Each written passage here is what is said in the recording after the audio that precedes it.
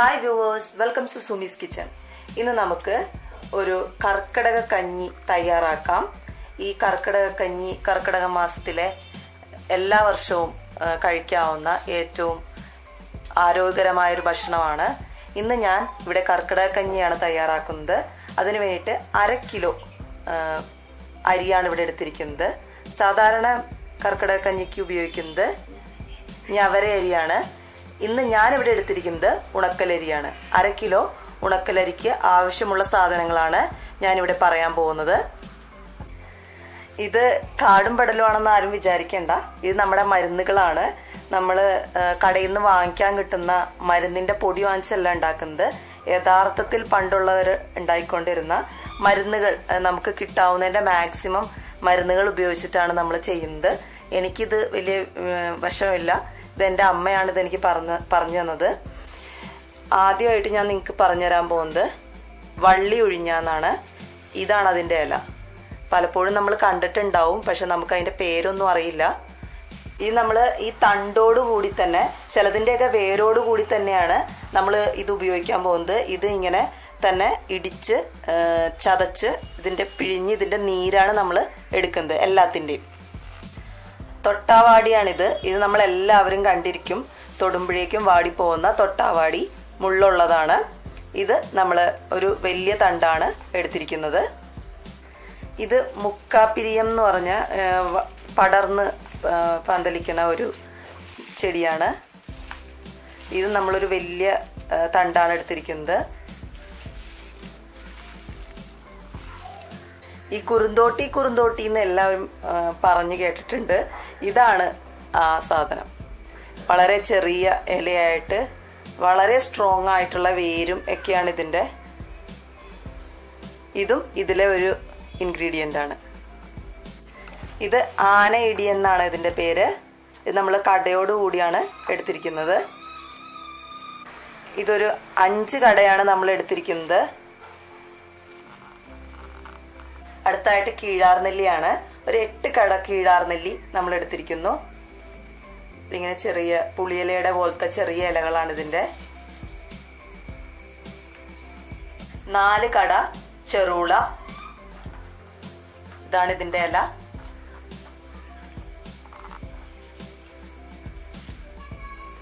ഇത് തുമ്പയാണ്. നമ്മൾ ഓണത്തിനൊക്കെ പൂവിടാനായിട്ട് ഉപയോഗിക്കുന്ന തുമ്പയാണ്. ഇതിപ്പോ വളരെ റെയറാണ് പണ്ട് പറമ്പുകളിലൊക്കെ ഒത്തിരി കണ്ടുകൊണ്ടിരുന്നതാണ്. ഇതിപ്പോൾ ഒത്തിരി കഷ്ടപ്പെട്ടാണ് മൂന്ന് കട തുമ്പ നമുക്ക് കിട്ടിയത്. ഇത് അരുവ പുല്ലാഞ്ഞി എന്ന് പറയും. ഇതൊരു മരമാണ്. ആ മരത്തിന്റെ ചെറിയ കമ്പുകളാണ് നമ്മൾ എടുത്തേക്കുന്നത്. ഇതൊരു ഏഴ് കമ്പ് എടുത്തിട്ടുണ്ട്. ഇതാണ് അതിന്റെ ഇല. ഇതും വളരെ റെയറായിട്ട് കാണുന്നതാണ്. ഞങ്ങളുടെ ഇവിടങ്ങളിലൊക്കെ വളരെ റെയറാണ് ഇത് കല്ലുരുക്കി എന്ന് പറയും ഇതിനെ. നമ്മളൊരു നാല് കട കല്ലുരുക്കിയാണ് എടുത്തിരിക്കുന്നത്. അതായത് മൂത്രത്തിലൊക്കെ കല്ല് ഉള്ളവർക്കൊക്കെ ഇത് കഴിച്ചിട്ടുണ്ടെങ്കിൽ വളരെ ഉത്തമമാണ്. അതുകൊണ്ടാണ് ഇതിന് കല്ലുരുക്കി എന്നുള്ള പേര് വന്നത്. നമ്മളിത് ഇവിടെ നാല് കടയാണ് എടുത്തിരിക്കുന്നത്. ഇത് പൂവാങ്കുരുന്നിലയാണ്. ഇതാണ് ഇതിന്റെ ഇല. ഇത് ഒരു വലിയ കടയാണ് നമ്മൾ എടുത്തിരിക്കുന്നത് ഇത് മുയൽ ചെവിയാണ്. ഇത് നമ്മളെല്ലാവരും ഒരുവിധം കണ്ടിട്ടുണ്ടാവും. ഇത് പിള്ളേർക്ക് കപക്കെട്ടും ശ്വാസമുട്ടൊക്കെ വന്നിട്ടുണ്ടെങ്കിൽ ഇതും പനിക്കൂർക്കിലയും കൂടി നമ്മൾ കൊടുക്കാറുണ്ട്. ഇതൊരു നാല് കട ഞാൻ എടുത്തിരിക്കുന്നു. ഇത് വെട്ടടവ് എന്ന് പറയും. ഇതൊരു മരമാണ്. മരത്തിന്റെ കൊമ്പുകളാണിത്. ഇത് മുക്കുറ്റിയാണ്. മുക്കുറ്റി ഒട്ടുമിക്കവരും കണ്ടു കാണും. നമ്മൾ കർക്കിടക മാസത്തിലൊക്കെ ഉപയോഗിക്കുന്നതാണ്.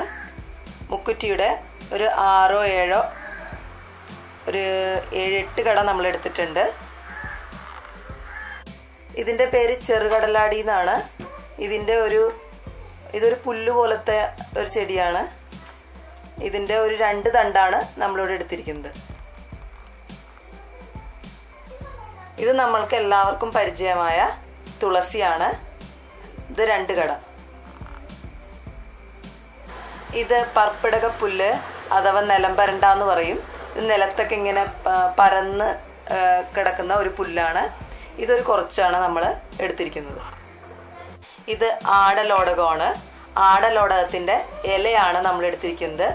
ഒരു അഞ്ച് ഇല നമ്മൾ എടുത്തിരിക്കുന്നു. ഇത് കരിനൊച്ചി എന്ന് പറഞ്ഞ ഒരു ഇലയാണ്. ഇതിന്റെ ഒരു മൂന്ന് തണ്ടാണ് നമ്മൾ എടുത്തിരിക്കുന്നത് ഇത് പേരയിലയാണ്. പേരയിലയുടെ ഒരു അഞ്ചില എടുത്തിരിക്കുന്നു. ഇത്രയും ഇലകളും പുല്ലുകളുമാണ് നമ്മൾ ഇന്നത്തെ മരുന്ന് കഞ്ഞിക്ക് വേണ്ടി ഉപയോഗിക്കുന്നത്. ഇത് ചെറുതായിട്ട് നുറുക്കിയിട്ട് നമ്മൾ കല്ലിലിട്ട് ഇടിച്ച പിഴിഞ്ഞാണ് നീരെടുത്താണ് ഈ കഞ്ഞി വെക്കുന്നത്. നമ്മളിപ്പം മിക്സിയിലാണ് ഇത് ചെറുതായിട്ട് ചതച്ച് പിഴിഞ്ഞ് നീരെടുത്ത് വെക്കുന്നത്.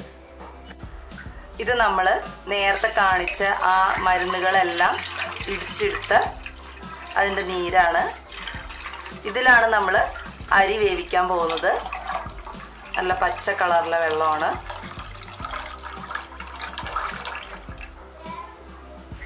നമ്മൾ ഈ കലത്തിലാണ് നമ്മൾ ഇന്നത്തെ കഞ്ഞി വെക്കാൻ പോകുന്നത്. ആദ്യം തന്നെ നമുക്ക് അതിലേക്ക് നമ്മൾ എടുത്ത ആ ഇലയുടെയൊക്കെ നീരൊഴിച്ചു കൊടുക്കാം.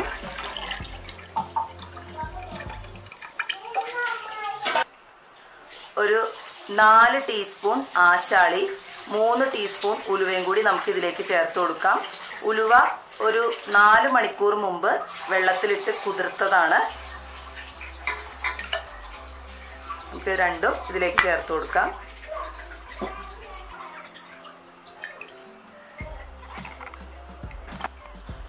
മൂന്ന് ടീസ്പൂൺ മഞ്ഞൾപ്പൊടി.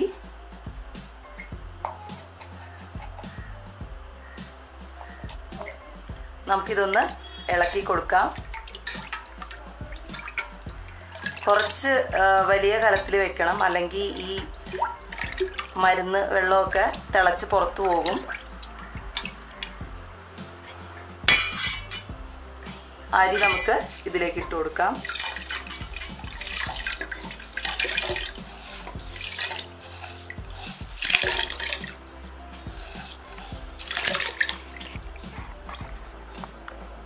ഇത് സാധാരണ അരി വേവുന്ന സമയമാണ് ഇതിന് വേണ്ടത്.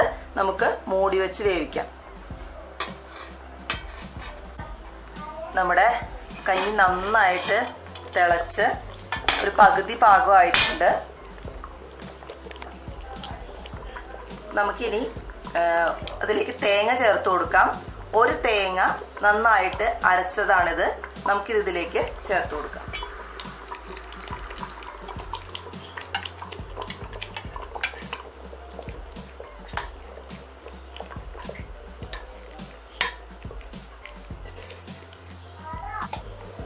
പാകത്തിന് ഉപ്പ് ചേർത്ത് കൊടുക്കാം.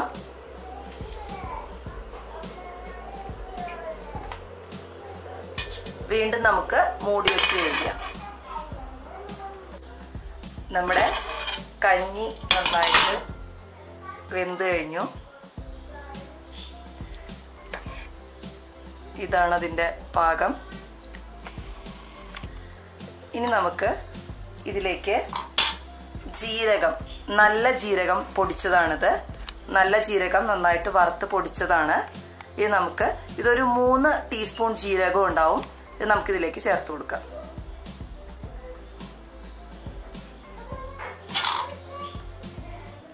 ഇത് നന്നായിട്ട് ഇളക്കി കൊടുക്കാം.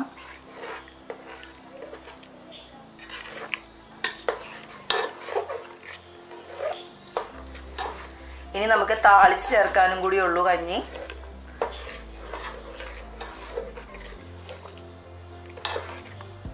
നമുക്കിനി നമ്മുടെ കഞ്ഞിയിലേക്ക് താളിച്ച് ചേർക്കാം. നെയ്യാണ് നമ്മൾ ഉപയോഗിക്കുന്നത്. നല്ല വീട്ടിലുണ്ടാക്കിയ നാടൻ നെയ്യാണ്.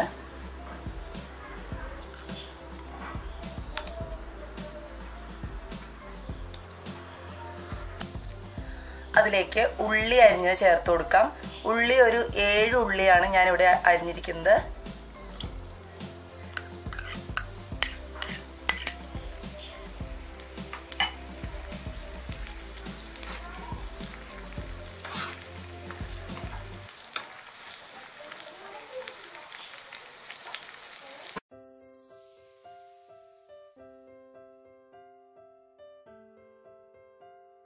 നമുക്ക് ഉള്ളി മൂപ്പിച്ച് കഴിഞ്ഞു. ഇതാണ് അതിന്റെ പാകം. നമുക്കിത് ഇതിലേക്ക് ചേർത്ത് കൊടുക്കാം.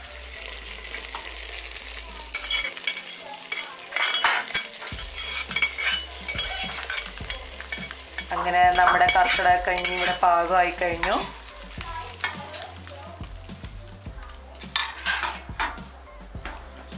ഇനി ഇതൊരു ബൗളിലേക്ക് മാറ്റാം.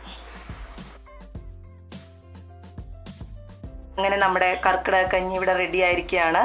ഇതിനത്ര ടേസ്റ്റ് ഒന്നും കാണില്ല.